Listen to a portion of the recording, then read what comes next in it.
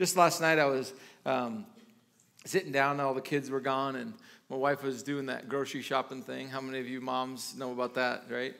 It's like the groceries don't just stock themselves in the pantry or the fridge. And, you know, sometimes as a house full of boys, we think uh, there's no food in the pantry or the fridge. And, you know, I don't know if you know what I'm talking about, but um, it just goes and, you know, it's like, Mom, what, what, why is there not food? You know, it's like someone's got to go get it. She said, you know, so, so she was out doing that. And, um, and so I was at home just, uh, just just preparing. Saturday night is typically just where I even just get quiet from what I had during the week and just reaccount it. And you know, um, I picked up this this notebook of mine. It's um, it's fairly old. Um, I don't know if you have any notebooks that you don't finish. Yeah. Yeah. So I got lots of notebooks. This one's from 16, and um, and yet it has notes from 24. And that you know, so uh, because I really like this notebook a lot. I just like the, well, I, I had lost this notebook. Um, I had misplaced it and I had found it just probably a month ago. So I was just going through and, uh, and I was reading some things that the Lord had said to me.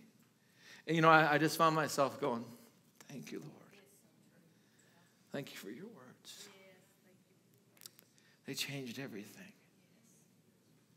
And I was just reminded of the time. Um, as a young man, I was sitting, invited by what is now my wife.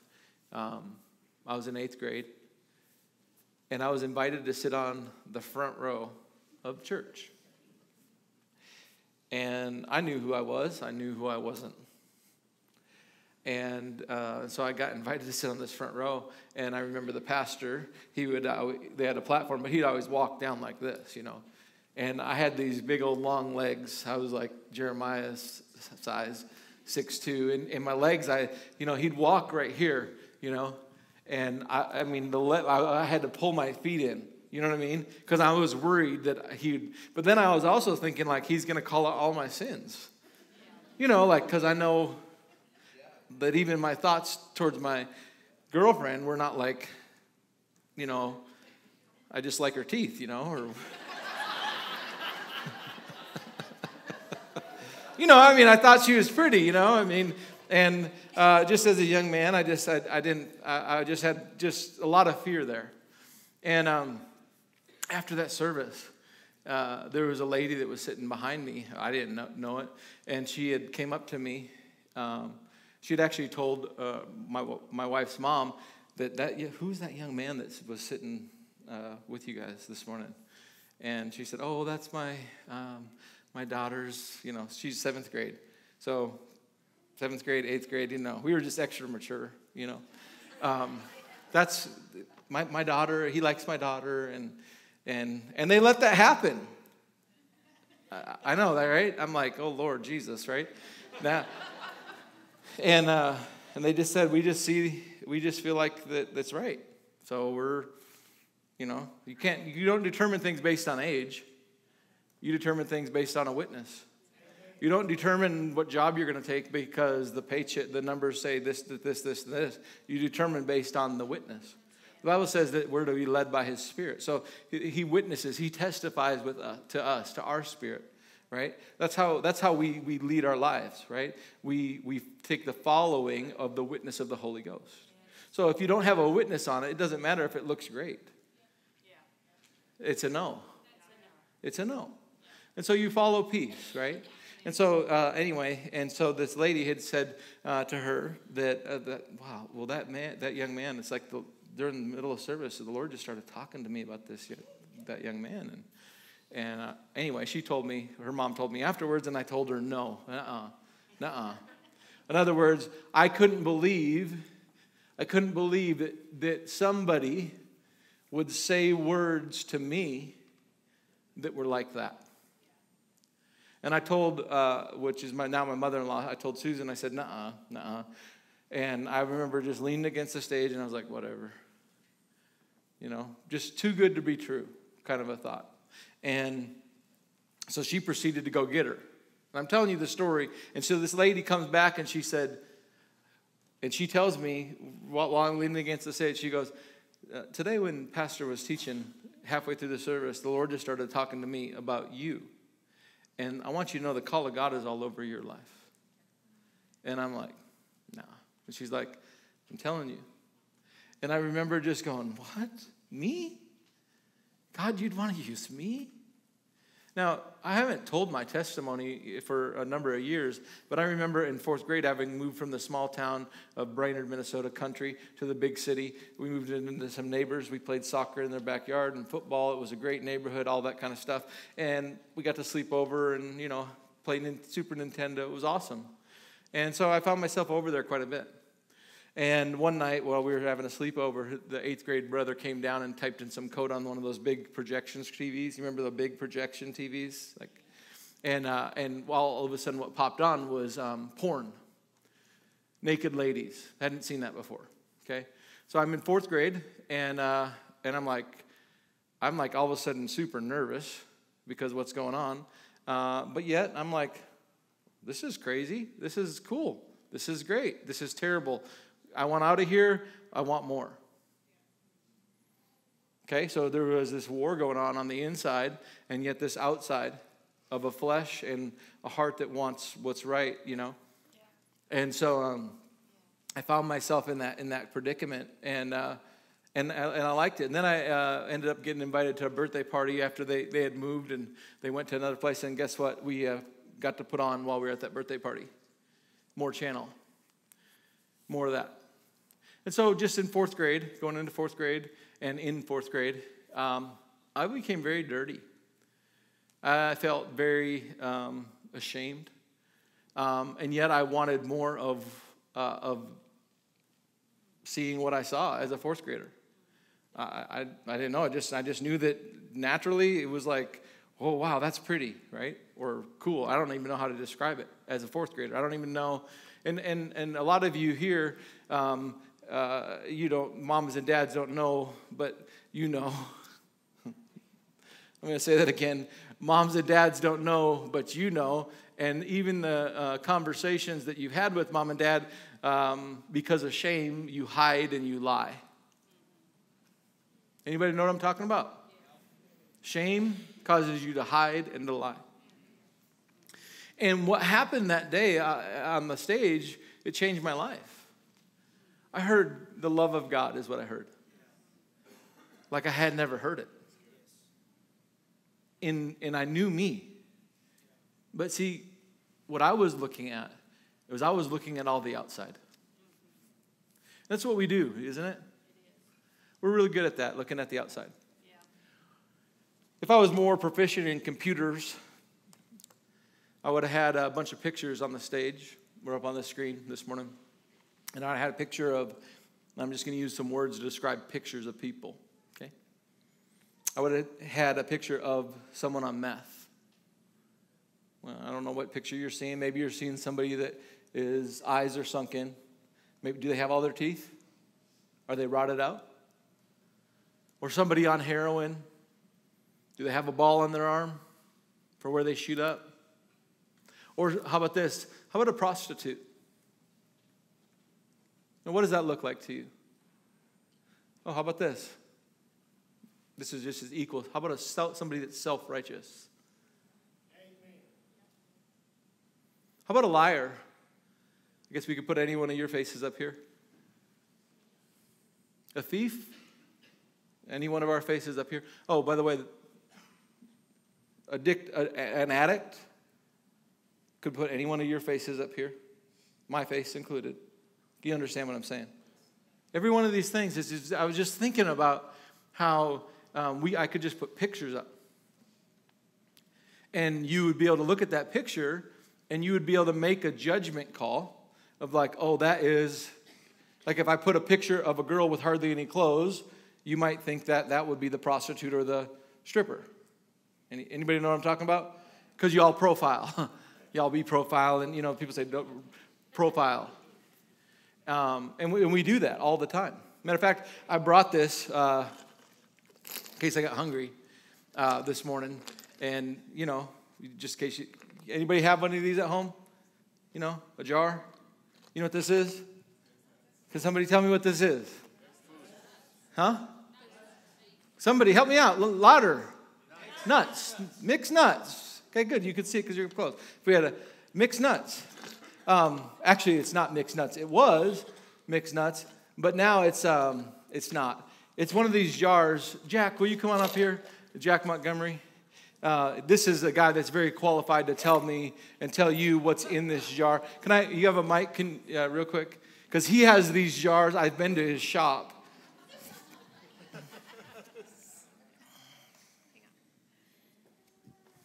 All right, check, check.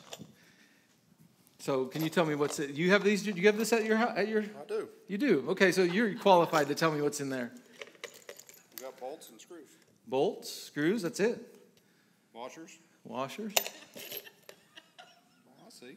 What else you got?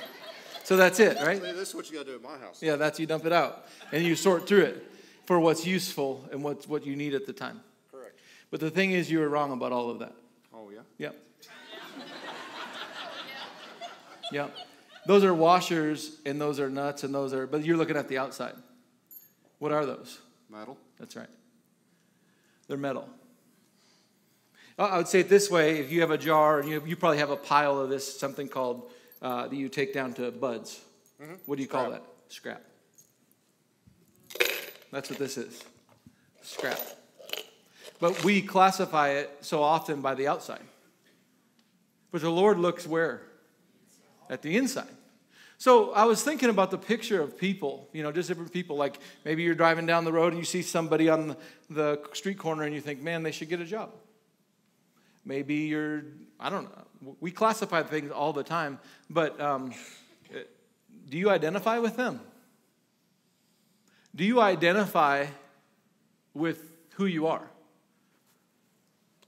You know, not as a bolt, not as a screw or a nut, but as who you are as a, at the core metal. Or let me say it this way do you identify them with them as who you are at the core? Humanity. Do we? Do we know who we are? Do we know, let me say it this way, who we once were? You know, Bible talks about from dust to dust. You, you, every one of us came from the same thing. And yet, God is so mindful of your dust. He doesn't look on the outside, but we do. And we think, man, because of because of I, I got all this together, I got all my stuff in the right place, now I'm useful to God. Now I'm valuable. But the value to you and me that we have to God is not based on what our outside looks like. You know what God does with you when you get born again, with all your outside? He melts it like a pile of scrap. And the Bible tells us that when we're born again, we, uh, the old is gone and he, we become a new creation. Wow, isn't that cool? God takes all the what we're trying to work up to and, and work for, and he melts all that, and he says, I'm going to make you who I've called you to be. I'm going to create in you a new identity. And you know what I'm going to make you? I'm going to give you something that you didn't earn, and I'm going to give you, just like this, this gift of righteousness. Meth, prostitute, addict. No, no, no. Dust. Man in need of a Savior whose price was paid by Jesus, and all you have to do is to believe on Him, and He says, I'll give you this gift of righteousness. So then our so let me say it this way: we don't have a, a sin problem as much as we have an identity problem. Yeah, that's right. So uh, next time you see somebody that's struggling, could you identify with them? You know, we have this uh, on the back wall. Is that we remember. We remember where we came from. Do we remember where we came from? Do we remember who, who we are? Do we remember that while we were yet sinners, this is in Ephesians, that while we were yet sinners, because of God's great love for us, He came. So I want to talk this morning. This we're actually starting a, a new series um, because faith works by love. But so many times we think that faith that works by love is our love. You know, the fruit of the Spirit, which has been taught so often as things that we're supposed to produce. In other words, we're supposed to perform instead of things that come from a seed, a seed of the Spirit, a seed of the Word of God. When I sow to the Spirit, when I sow, I reap of the Spirit. So those fruits, uh, they come from, from sowing. But faith works by love. What love? God's love, God's love, the love of God for me. So many times we think that the love that we're struggling in life because uh, we, we don't have enough love for God. Can I say it this way? That, that's, that's a lie. The reason you and I struggle with sin or we struggle with identity, we struggle, it's because we don't know enough of the love of God. We don't have enough of His love. We don't, we don't know and may, haven't made that our own. God loves you. It's something we hear and we've heard and we've maybe even sang a song. Jesus loves me, right? Or we say, God loves you. And what does that mean? What does that even mean anymore? Do we know? Do we? And I think that it's easy to come to church and having heard a message of Jesus that we don't really have an understanding or an intimacy of. Uh, and, and so it doesn't hold the, the, the, strength or the power to us the way it's supposed to. So the, the, we're going to be in this for a little bit. Uh, God loves you. God loves you. Me? Yeah, scrap? Me. God loves the scrap in me. He loves uh, me from the inside out. While I didn't have anything together, He said, that's my boy. That'll mess you up. It'll rock your world. When you realize that you can live from the love of God instead of for the love of God, it'll change your life. That you can live from the love of God because He loves you instead of living for the love of God, where I'm trying to live up or perform something just to get his approval. If I did enough right things, then I can get something. Prayers are hindered oftentimes because we don't know the love of God. What, it, what the enemy brings to us is our love for God. And if you really loved him, then when you wouldn't have done that. If you really loved him, then you wouldn't have done this. If you really loved him, you. And so we find ourselves in this place and I'm going to have to side with the Word of God here, where it says man looks at the outside. I, am not saying this is only Samuel here. Can I say that man looks at the outside? Can I say that that's still true? I just saw Jack do it. I just saw you all do it. You called this a, a jar of nuts. It wasn't a jar of nuts because you were convinced based on what was on the outside. You're convinced about your kids, you're convinced about yourself because of what you see on the outside, where you're not able to do. Why do I do what I don't want to do? And so I classify myself I, I, because of what I see. What I see. And so I want to take some time uh, over the next few weeks to talk about the love of God from the beginning because I think we got to hear the, this the story uh, uh, of, of God's love for us again and again. And uh, this is the foundation of scripture is Ephesians chapter 3, verse 18, uh, where he tells us that he, it was actually a prayer uh, for, for that church. I'll read it. It says, For this reason, I'm going to start in verse uh, 14, Ephesians 3 14. It says, For this reason I bow my knees before the Father so Paul says, I'm bowing my knees, from whom every family, it's interesting, whom every family in heaven and earth derives its name. It kind of reminds me of all the nuts and the bolts melted together. You know, every person here derives its name. In other words, it comes under one name. And we classify ourselves, and they're them, and they're this, and they're that. And what happens is, is so many times with classification, uh, I know he has this in his garage too. There becomes separation. We love because that when things are separated based on classification. So on my bench, eh, I have uh, I could always use more of them. Drawers that have this size screw and this size nut and this size washer and this and I love when I can go there and know, you know, I can pull out 14 different drawers to find the, the right size nut or the right size bolt that I need.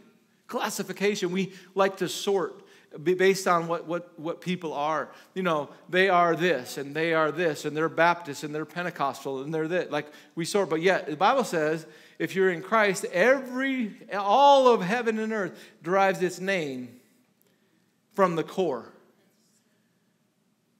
as his children, as a child of God. He says, uh, I ask, so he's praying, he's praying not, not for Beyond Church, not for First Baptist, not for United Methodist, he's praying uh, for the family of God. That the family of God would know something that's so vital and so important. The family of God that you would know. I, I don't know, I got three boys. You know, what my, my greatest prayer is that, and it's crazy when you, if, you, if you've ever not been a dad, then you become a dad. And some of you that haven't become a dad yet and it's about to happen, you're like, I don't know how I'm going to love this. I don't know. But something happens. When you have that baby, you get, like Tice, when you were born, uh, dad was like, I love it. But then when your sister was born, he was like, I love her so much. But you know what was crazy? His love for you didn't lessen. His love for you was, I love Dice so much. And then God added too, I love, I love her so much. I love God. That's how God does. He doesn't, and so for me, my prayer is that, that my oldest son, Matthew, would know that I love him so much. Because he's mine. Because he's a gift. And then my prayer is that my middle one would know this that I love you so much. No, not, not compared to this one. Not because the threads on that one are different than the threads on this one, or this one functions this way and that one functions that way. No, I, I love you. And then my youngest one, I, I would want him to know I love you. All that you are all that you are. And so many times where we get stuck in the classification, it's what they're not. But anyway, let's keep going here. And so here's this prayer for the body of Christ, uh, Paul, and he says, he prays, um, let's go pick up in verse 16. I ask that out of the riches of God's glory, he may strengthen you with power through his spirit in your inner being, so that Christ may dwell in your hearts through faith. Then, you being rooted and grounded in love will have power together with all the saints. With who? With all the saints. This is the prayer for all saints. This is not the prayer for elite. This is not the prayer for those who have the outward show together. You know, I was looking, I was, when I was going to pull some pictures and send them up to the, the media, uh, I, I, typed in drug addict. And uh, so you had pictures of guys that were, and ladies that were strung out, you know, and you had some snorting cocaine, some were pills, some were. But you know what? The one that I liked the best was this picture of this person, and they were doing this. And the mask was half off their face. They looked normal. And the mask was half off their face. And I was like, yep. Because anything that's associated with shame, we want to hide. And this is how the enemy works. He works in the darkness. You know how the enemy he, he's able to keep you bound because you have to keep it hidden.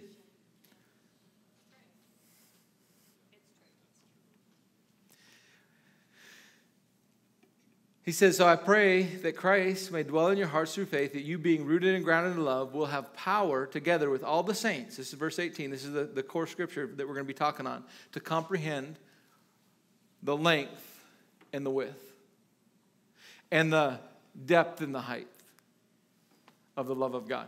You know, it's interesting, uh, uh, even on this graphic, if you'll throw that graphic back up, uh, and talking with, uh, oh, it's right here. Um, you kind of can you kind of see what's coming out of that heart? What is it? Arrows? What can somebody maybe? Huh? What is it? Direction. Well, what direction could it look like? It's something that's maybe what Jesus hung on. It kind of is, isn't it? It's like from here to there, from there to here. It's kind of like that cross, isn't it? The love of God. And so that's what we're going to talk about uh, through this series. He says that you would be able to uh, know with all the saints the length, the width, the height, and the depth of the love of Christ. And to know. To know meaning intimate, to know meaning intercourse. That's what that word is, to know. Like where Mary said, I know, how can this be? Because I know not a man. In other words, I haven't been intimate with someone. He said, I pray that you would, you would know intimately for yourself God's love. He said, This love you can't get here. He says it surpasses knowledge. You can't understand it, but you can experience it. You can't, it doesn't make sense to you, nah, nah, not me. No, but I, you can't take from me. You can't take, here's what he said you can't take from someone the love of God once they've experienced it. And here's what he says He says that they would know this love that surpasses knowledge, and that you may be filled with all the fullness of God. The key to walking and, and carrying God anywhere is knowing how much you're loved, having experienced that. And here's what happens He says, Now to him who is able to do immeasurably more than we ask, think, or imagine, according to his power that's at work within us. You know what the power that's at work within us? It's his love. It's interesting how love moved God to, to heal people. Love moved God to feed. Love moved God. Love is to move you and me. He says, uh, according to the power that's working within us, verse 21, now to him be the glory in the church and in Christ throughout all generations, forever and ever. So here's what we're talking about this morning the love of God. You know what we're going to talk about? We're going to talk about God's love being this big I used to tell my oldest son this when uh, I, I love you, I love you. And he actually said, I love you. No, I love you. No, I love you. And, uh, well, I love you this big. And he would say, Well, I love you this much bigger. And I'd say, Oh, yeah, well, I love you from here to here. And then he'd say, Well, yeah, well, well, well I love you from here all the way to here. I love you this much. That's what we're going to talk about. How much God loves us. And um, we have to see in the Word, we have to be taught what the Word says a, a little bit. We have to have a little more understanding that I think than we, than we often do. Um, starting in uh, just real quick 2 corinthians 5.21 God made him who had no sin uh, to be sin for us that we might become the righteousness of God. This is what happened when God sent Jesus. There was this great exchange. He said, I'm going to send my son Jesus, who knew no sin, to be sin for us so that we could be who he is. So it's interesting, even, uh, even as you look back, uh, God wasn't concerned about sin all the way back way back when Adam missed it. It's really interesting if you were to look at this. God wasn't so concerned about sin as, well, as much as he was about fellowship. God wasn't concerned about sin, he was concerned about fellowship. He couldn't come to meet with the people. Matter of fact, if you look at the time that went on between uh, Genesis all the way until Moses came, you know, you can eat all the cookies you want, and there's no problem. If you're a kid and the cookie jar is on the counter, you can eat all the cookies you want, and there's absolutely no problem. Until, until mama says you can't have a cookie. Is that, am I right? There's no problem. You can have all the cookies you want, Kip. You can keep eating them. You can have as many as you want. There's no problem. You can have all the cookies unless mom says, hey, we're not having any cookies before dinner. Then all of a sudden, if you sneak a cookie, and how many of you know the cookies were sitting there the whole time until mom said, You can't have a cookie. Now all of a sudden it's like, I want a cookie. You know? It's kind of like the children of Israel. Never did they build a golden calf. For how many years? Never did they have another God before him. Until they said, uh, we don't need a God. We need we, we, we, just tell Moses and just tell him to tell us what to do, and we'll, we can we can do it. We can live up to what we're supposed to live up to. And the Lord says, you can't. He said, but if you think you can, here's what you need to live up to. And you know what? The moment the law was instituted, this is when that was reality was is sin began to abound. Interesting. So as long as there's no law, right? As long as it, it's kind of like, as long as there wasn't a, a, a, statement to Adam, don't eat off of this tree or eat off of that tree, could he have ate off the either tree? It would have been fine, wouldn't it have? Just something to think about. Now, let's go to Romans, Romans chapter 5. And we're going to spend a little bit of time here. Um, and before, uh, you know, as, as we're coming in here, we're gonna we're gonna just spend most of our time this morning into Romans five because I don't have. We're it, this is going to be a series that we build out here. Um, but how many of you know? Uh, it seems as if in the church, um, somehow we've moved to uh, a relationship with God that is very. Um, it, it, it's very. It can be very volatile, or it can be. Uh, what's the word I'm looking for? It, it, it's not it's not safe, or I, wrote a word down here when I was thinking about it. Uh, secure. You know our relationship with God. Let me say it this way: Acts four twelve says that there is no other name in heaven and earth by which men can be saved. Have we taught that? Have how, how are you to be born again? Call on the name of Jesus, right? We, so we teach this that you cannot be saved by any way except for calling on the name of the Lord. So we, that's the only way. We, will we'll, we'll preach that, but then some, and it's like, uh, if you believe in your heart and confess with your mouth, Jesus is Lord, you're saved. So salvation comes that way. And, and yet, it's like, it's crazy how our relationship, we've let it become so unsecure, like we could lose our salvation in a moment. Like salvation had to do with you and your works and my works and it doesn't. I know this is just jacking with some of us, and we just might have to go read Galatians and spend some time there. We have to just go read Romans and have to explain to the Romans, who were very intellectual, the, the power uh, uh of, of, and the, the greatness of the gift of Jesus. But my salvation doesn't depend on my works. Holy, like, and so this is this is something that's interesting. Um, I could, I, you can talk to any person. You can see this uh, with in the Bible. If, if God was to show up uh, to a sinner, they would recognize that God is holy. How many of you know that like, that's everybody's response? I'm sinner, I'm unrighteous, I'm unworthy. You're here and I'm here. Like no one has to be taught that. A sinner doesn't have to be taught the holiness of God. Everybody knows it. But you know what we have to be taught? The love of God.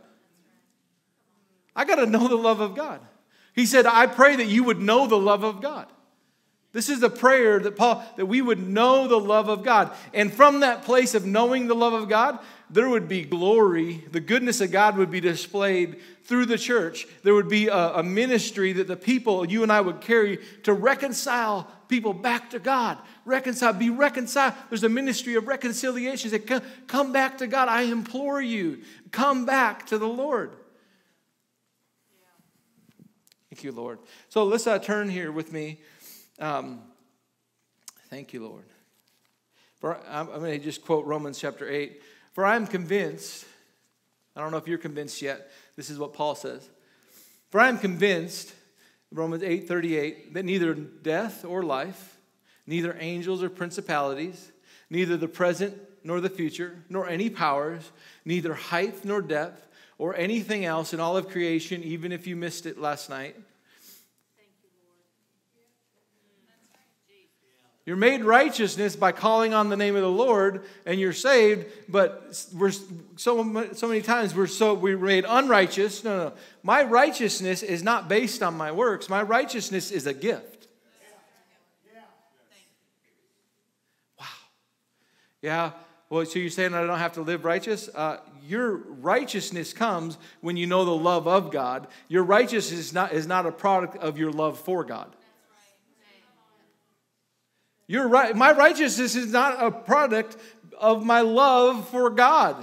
My righteousness is a product of the love of God for me. And so he gave me the gift of righteousness. And from that gift, because I've been loved much, oh, I love much. If I struggle to love, it's because I, I, I, have a struggle uh, to receive his love. That's the only reason I struggle in any way, I, I, because I identify with myself of the outside.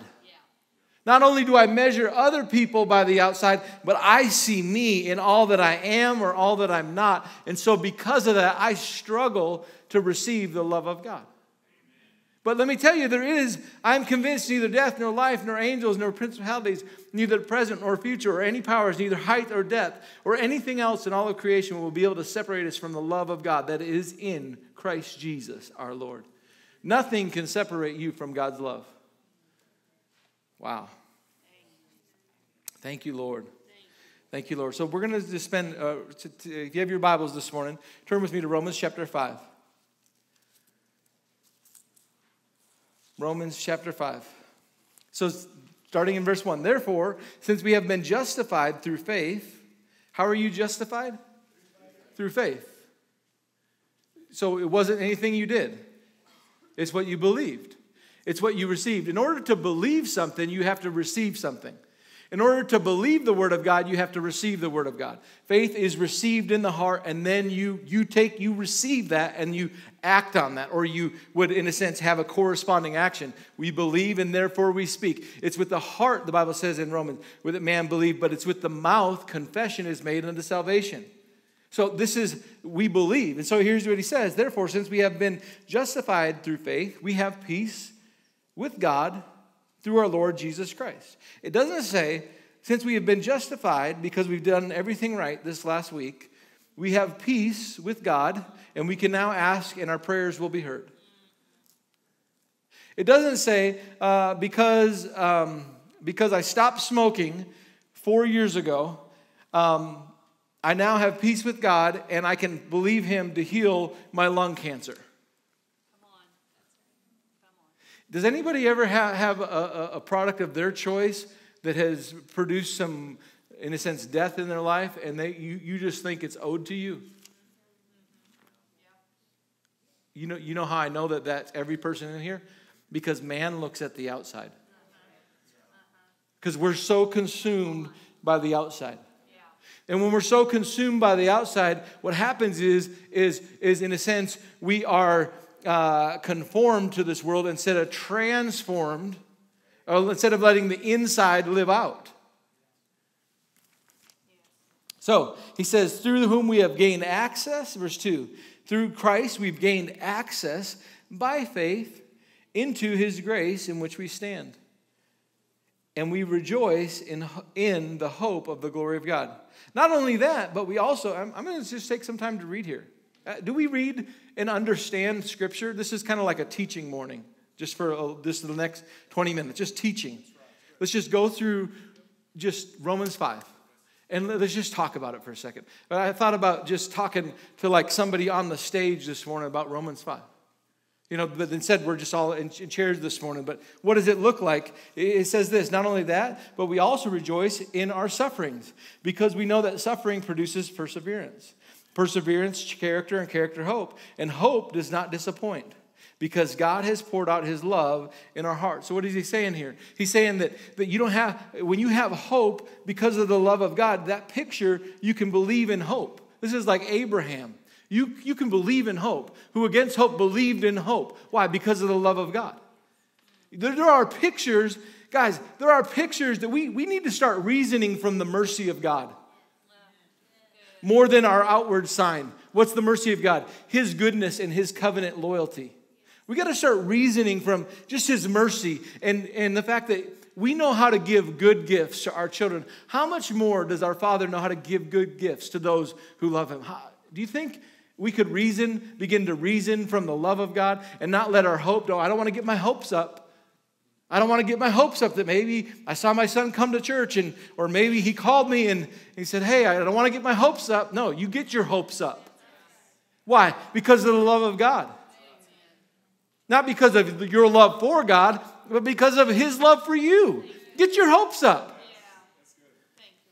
This is why we don't pray the prayer of faith to see the sick healed. This is why we don't pray the prayer of faith to see the dead raised or to cast out the oppression on somebody. Because we don't want to get our hopes up. Why do we not going to get our hopes up? Because we're not convinced of the love of God. And somehow we've moved to the outwards, the outward. As a church, we went back to the outward as the church. But it is the grace of God that saves us. It's the grace of God, His goodness, His kindness, His faithfulness, that which faith stands, the Bible says, is the faith rests on grace. So if I don't have the foundation of God's goodness towards me, then I will have no faith to lay hands on. I'll have no faith to pray in any way. I'll have no faith if I don't have the foundation right of grace, which comes from His love for me. God loves me. Somebody needs to just say that. God loves me.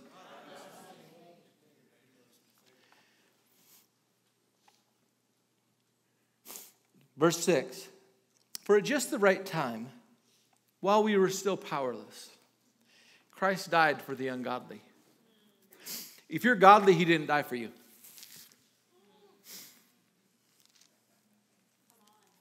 Do you know there's like one place that you can fall from grace? Is when you don't need you don't need grace. You know, there's anybody ever here been ever been scared about like the unpardonable sin? Like, did I commit the sin? Like, well, if you have ever been afraid that you would have fallen from grace, can I say this? You've not fallen from grace. But if you don't need grace, you've fallen from it. You've fallen from grace. He says, At just the right time, while we were still powerless, Christ died for the ungodly. Very rarely will anyone die for a righteous man, though for a good man, some might possibly dare to die. Oh, I die for, you know, you die for your son. You die. You see this in our, our military, dying for a country or die for their children, for their future. For so, but he says that people don't die for, for unrighteous people. He said, but God, while we were ungodly, he sent his son Christ to die. Verse 8. but God proves his love for us in this. This is the proof of God's love for you and me.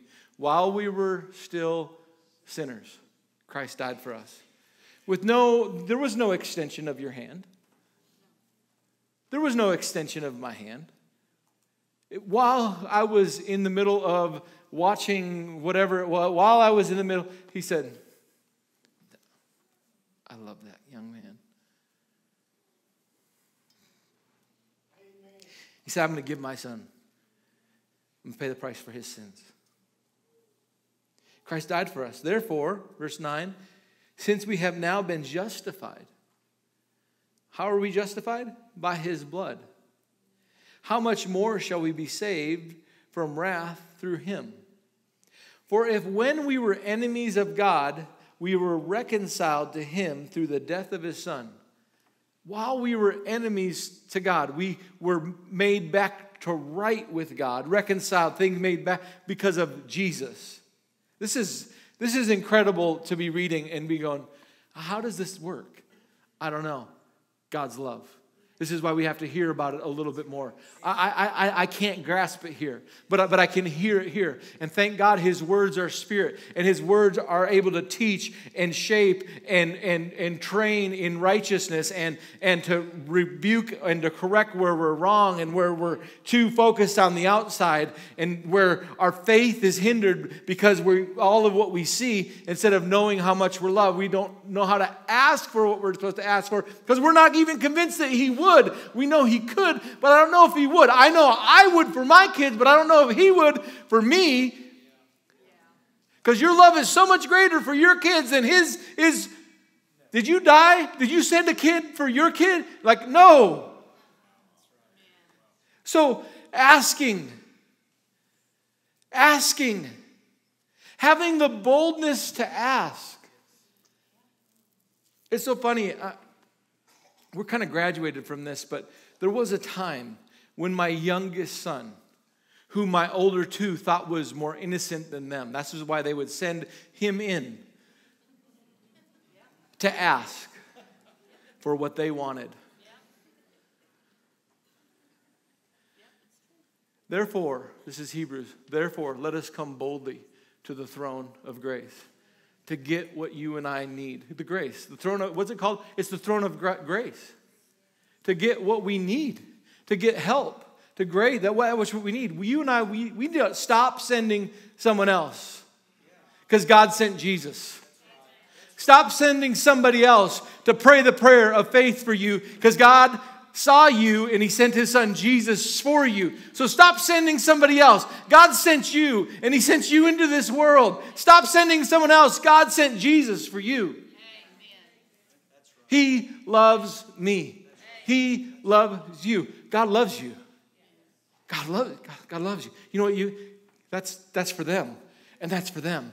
And that's for them. That's something a message that you and I have to carry. God loves you. Man, God loves you. You know how you can do that when you identify with them?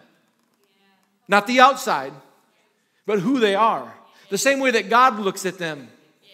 God, give me eyes to see. Give me eyes to see. Give me eyes to see them. Give me eyes to see the world as you see them.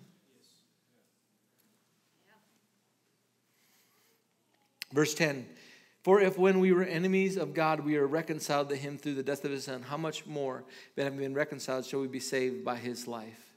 Not only that, but we also rejoice in God through our Lord Jesus Christ, through whom we have received, now received reconciliation. You know what that means? All things are right. Because you did right? Well, why are things right? Be- because of Jesus. So things are right. Well, what, what about when you missed it? Are things right? Well, they're not right until I get them right. It's most amazing thing at how fragile grace has become. You know, that you in your and me in my super amazing ability could could could ruin the plan of God in a moment. Pretty powerful. It's pretty prideful to think that.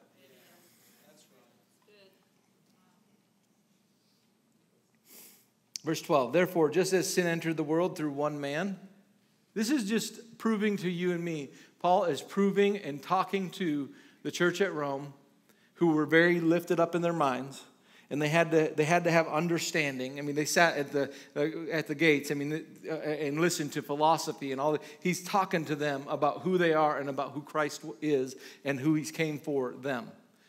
He says this: Therefore, just as sin entered the world through one man, death through sin, so also death was passed on to all men because all sinned.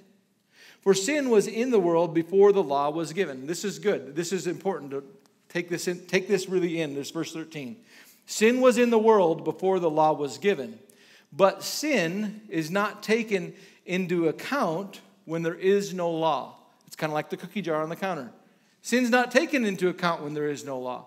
So man was doing flesh things. But because there was no law, sin wasn't taken into account. Everybody wasn't perfect before uh, Moses received the law from the Lord. But yet there was just sin had entered, and it entered because of one man.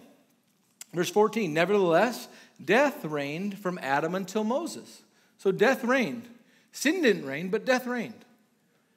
Death, because the wages of sin is death. So man wasn't ever meant to die. It's interesting when you look at the lifespan of humanity in the Bible before Moses. Like it was, it took a long time. Like eh, you know, Methuselah before the flood and, and all the the crazy that was going on. We're talking years and years and years because man wasn't made to die. The effects of sin took a while to bring death.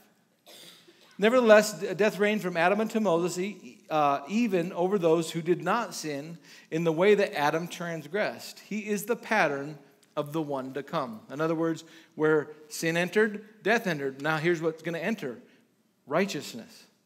Let's keep going. But the gift is not like the trespass. So, the gift, what's the gift? Jesus. The gift that God has given to you and me, the gift of righteousness, it's not like the trespass. This is verse 15.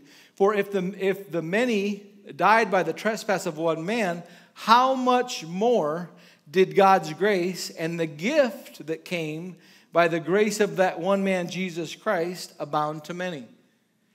If one man's offense, again, verse 16, again, the gift is not like the result of one man's sin. The judgment that followed one sin brought condemnation. One sin brought condemnation. This was the judgment. Adam sinned. One sin condemned all. He says this, but the gift that followed many trespasses. How, how many times have you missed it? Many? Missed it many? I missed it many. I, I missed it many. More than my hands and toes can count. I've missed it many. Nor can the gift that, it says, the judgment followed one sin and brought condemnation, but the gift that followed many trespasses brought what? How is that possible? The grace of God.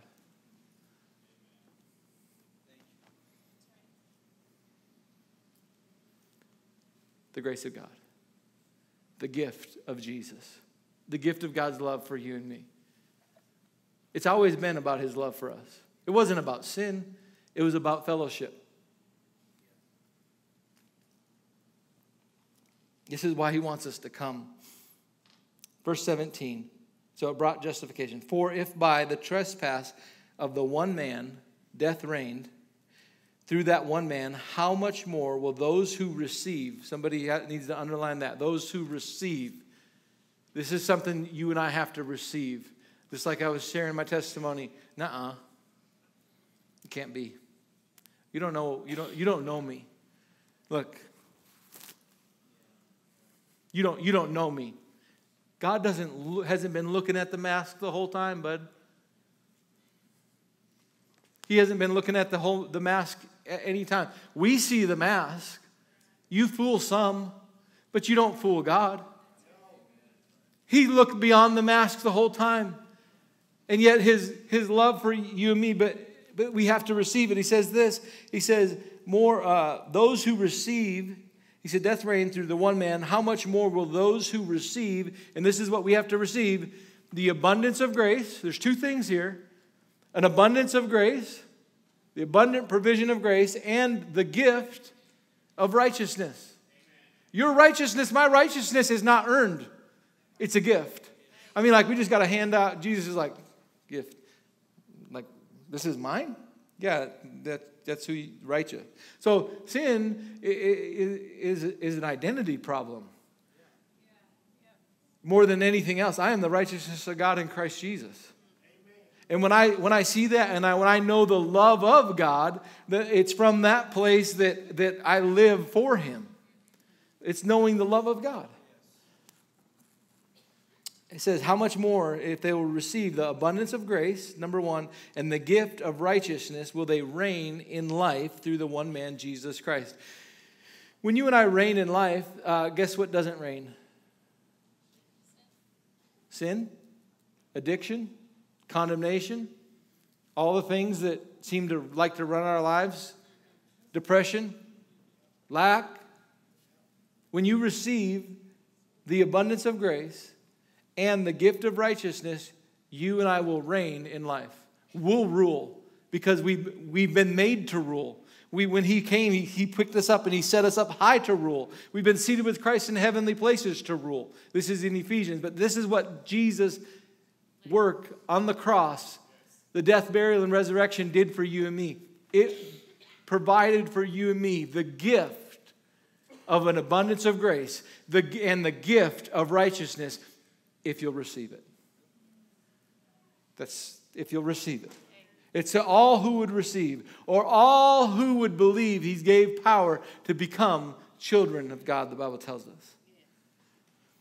Verse 18 So then, just as one man's trespass brought condemnation for all men, so also one act of righteousness brought justification and life for all men. For just as through the disobedience of one man the many were made sinners, so also through the obedience of the one man the many will be made righteous. Thank you, Lord. So the law came in, verse 20, the law came in so that the trespasses would increase. This is interesting if we're going to look at this next week. But the law came in so that the trespasses would increase. When God, when, when Moses received the, the Ten Commandments for the children of Israel, that was not God's plan. I, I don't know if we have read this, but when he wanted, he said, Get the people ready to have them not touch the mountain, because if they do, they will die. We're going to look at this, but they, they said, No, no, but in lightnings and, and, and, and cloud, that they were, uh, they were afraid. Amen. What they didn't know. They didn't know. They, they, they saw the way, they saw the works of God. They, they, they saw the, the frogs and the, the, this is after they've been, they saw the Red Sea split. They saw the works of God. They saw his power and his might. They saw all of these things, but did they know why? Did they know why his power was used for them? Did they know why? He was coming to show them why. Moses knew the ways of God. The children of Israel only knew the works of God, and because of that, they were afraid. And he was coming to them, and they said, No, no, no, no. You have them just tell us what to do. We got this. And the Lord's like, you, can't do it. You, you can't do it.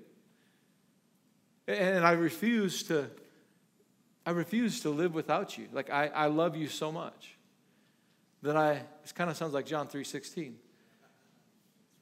God loves you so much that he sent his only son. That whoever would believe in him would not perish but have everlasting life. He did not send his son into the world to condemn it. But through this is this picture.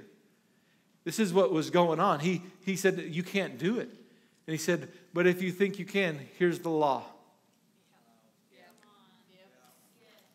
If you think you can, here's the law. So, verse 20 of Romans 5, here's why the law was given. The law came in so that trespasses and sin would increase. So, you know what would happen? You would know how much of a sinner you are. That you and I would know. It's important that we would know that how much of a sinner, that there was no way for me except through Christ. But because of Christ, because of Christ, I no longer am on the mountain uh, that was smoking and thundering of Mount Sinai. Now I've moved from Mount Sinai to a place of a habitation, Mount Zion, the, the place, the city of the Lord. Like there's a different place that I transfer. So no longer am I a sinner only saved by grace. No, now I am the righteousness of God in Christ Jesus. I am who He's made me to be. And from that place, I'm to live. The law came in so that trespass would increase. But this is, I love this verse. But where sin increased, God, grace just said, My grace, my desire to bless you, my desire to be good towards you is so much greater than your sin. Wow. God's desire to be good to you to be good to me is so much greater than my sin. The law came in so that the trespasses would increase. But where sin increased, grace increased all the more. So that just as sin reigned in death, so also grace might reign through righteousness to bring eternal life through Jesus Christ our Lord. Grace reigns through righteousness. When you and I understand the gift of righteousness, we'll be so much in who we are in Christ. We'll be so much more uh, apt to appropriate grace in our lives. all of His grace. Why is it that we don't appropriate the grace of God so many times? It's because we look on the outside. I'm looking at me. See, the law causes us to look at self, where grace causes us to look at Him. Oh, God, you're so good. And so then I love Him because He loved me. My love for Him is a re- result of His love, the love of God for me. I need to understand that God loves me Lord, open the eyes. I pray that the eyes of our understanding would be enlightened. We'd know this picture. But Father, as he prayed in the, that's Ephesians 1, and then he moved into Ephesians 3, that we have this prayer. And I pray that, that, that we would be able to grasp beyond here, but that we would know intimately for ourselves how wide, how deep this love, this kind of love, this kind of, this kind of lay down my life for you kind of love, the cross kind of love that we would grasp that, that we would hear that again. You know what we're going to do? We're going to hear this. Uh, uh we're going to hear this same message over the next six weeks again and again. We're going to hear wider. We're going to hear taller. We're going to hear deeper. We're going to hear that I am convinced my, my, here's the deal. My, my goal in this message is that you would be convinced. Now, I am convinced that there is nothing that can separate me from the love of God. And I know that I, because I'm loved, I can come boldly and ask and appropriate the grace and the mercy to help in time of need. Is there need somewhere? Because here's what I see I see need all around. And you know what? He's got his body, the church. He said, when they know how much they're loved, he said there'll be glory to God throughout the church, to all generations, for, for the love of God. We're going to hear the love of God. We're going to look at Abraham. We're going to look and we're going to hear again. We're going to go to Romans 8. We're going to look again in Corinthians. We're going to look at Galatians. We're going to see what is he talking about instead of just one scripture. We're going to look at these pieces of just God's love for you, God's love for me. It's not based because I have something together. It's based because of who I am. Even angels were wondering about this. What is man? What is man that you're so mindful of him? Who is this human? What is this that you are that you would make him the object of your affection? I'll say this this way if the angels were taken back, not able to comprehend the great love for man, I think you and me, we're not going to get it here. No, we can't get it here. But you know what can happen? Romans chapter 12, verse 2. We can be changed. We can be changed from one degree of glory to the next. We can be changed. It says that we're not conformed but to the pattern of the world, but we're transformed. There's a transforming that happens as we renew our mind. Our mind is renewed, and there's an inside. Now, what was in us all along, I, as I was reading, I was reading in this last night. There's always, as I wrote this, there's always been flying in you. Worm, caterpillar. There's always been flying in you. You know those things that you desire that that's always been in there. It just needs to come out. Who you are and who He's made you to be and, the righteousness of God in Christ Jesus, it's always been in there. Those desires to see the broken restored, the lost found, the healed, or the, the sick healed, it's always been in there. It's always been in there. It just needs to come out. You know how it comes out? When we have an understanding of who we are and we're changed from one degree of glory uh, as we're, our mind is renewed. There's a transformation, there's a metamorphosis that happens that you'll be able to test and approve what God's will is, is good and pleasing, perfect will. Let's stand this morning. Thank you, Lord. Or this afternoon. huh? Not quite. Thank you, Lord. Thank you, Lord.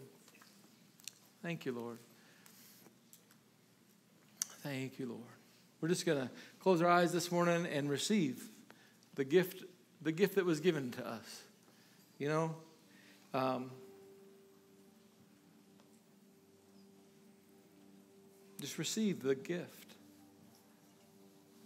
Because he didn't come to you or me based upon our merits. He came based on his love for us, his love for you. He said, if you'll receive, if you'll receive the gift of righteousness that comes through Jesus, if you'll receive the abundance of his grace, you can reign. How do you receive? we quote this often, but you receive the Word of God when you and I receive it in our hearts, and then because we believe it, we say it with our mouth. We come into agreement. That's really what confession means. It means to come into agreement with or to say the same thing. Could you say the same thing that God says about you? That's your choice. That's your choice. This morning, if um, I just I just see that. I, uh, th- that's what we're going to do together as a as as this body this morning, uh, just as every person here in this room, that we're going to receive by faith His love, the gift of Jesus. And a lot of us have been saved. We've uh, maybe, uh, we've, we've given our lives to the Lord, or we've prayed a prayer, but maybe we we didn't understand it fully, and I don't believe any of us have fully understanding by any means. But what we're going to pray this morning is we're going to pray that the Lord would open our eyes and that we would know a greater dimension of His love. A dimension as in wider, higher, deeper, further than I'd known it before. And then I'm going to give an invitation if you've never made Jesus your Lord for to call on Him. But I want to pray that prayer first and just, Lord, teach us, show us. Father, in the name of Jesus, we thank you for Jesus, the demonstration of your love for us. Lord, let us, let us know it in ways that we haven't known it before. Let us know your love. Let us know it in a greater measure. A greater measure, a wider, a taller, a deeper measure than we've ever known it before, that it would reach further, that we would see your love and your kindness all the way into our family, into our children, into our bodies, into our Father, every component, into into eternity, that we would just know a greater facet and measure of your love. Show us, teach us through intimacy.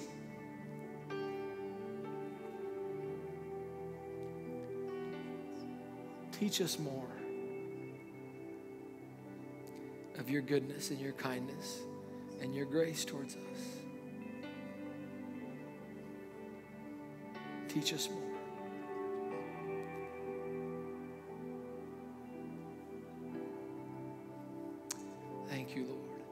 And the Bible says that by grace, yet through faith, are you saved.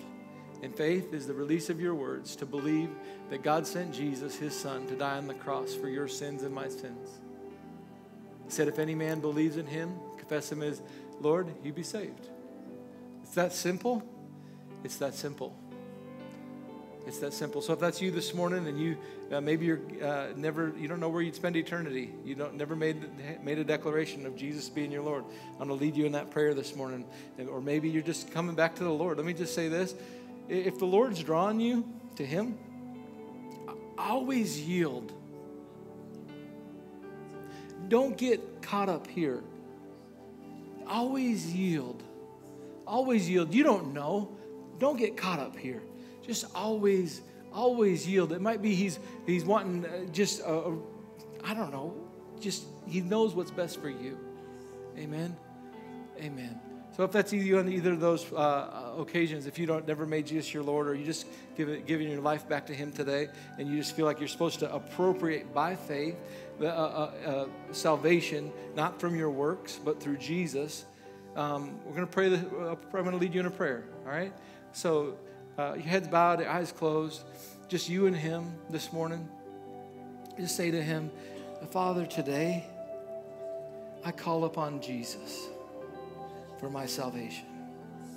Not my works, not my past, but Jesus for my righteousness. I believe that you sent Jesus, your son, for me. Today, I make him my Lord, my Savior, my righteousness. Thank you for the gift of Jesus. In Jesus' name, amen. Amen. Amen. Thank you, Lord. Thank you, Lord. You know, if you prayed that prayer um, this morning and, and maybe for the first time, or just you want some help just to walk with the Lord, you know, we have tools that we'd love to get in your hands. Um, but come up after, right down in front. We'll have some people pray with you, get tools in your hands. Um, other than that, we will see you guys on Wednesday for Small Group Wednesday. And you guys have a great week. God bless. Thank you for joining us. We hope you were strengthened and encouraged by the Word of God. If you need prayer, feel free to text us at the number on the screen below. You can also send us an email to info at beyondchurch.org or submit a prayer request form on our website at beyondchurch.org. If you'd like to partner with us in preaching Jesus, you can give securely online through our app or website, or if you prefer to mail your gift, send it to the address shown below. Stay connected with us throughout the week. You can download the app for all of our latest messages and announcements, and be sure and follow us on our socials at Beyond Church. If you've never attended in person, we highly encourage you to plan a visit. You'll never regret prioritizing godly community. We love you and hope to see you soon.